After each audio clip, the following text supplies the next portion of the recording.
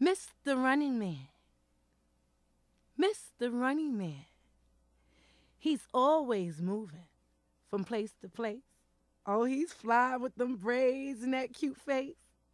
I can see something's wrong. But I'll put him in his place. For a while, he stays here, and then he goes there.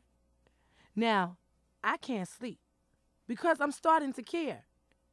It's going to take about another three weeks before he even tries to call or come see me.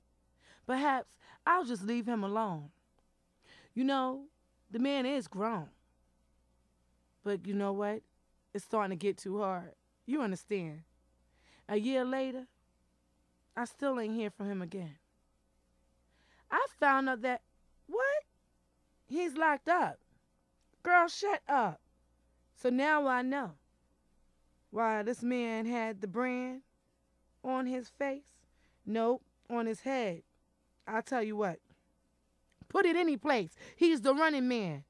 For the race is not given to the swift, neither to the strong, but unto those that endure to the end. Nope, don't even call. I don't want to see you again.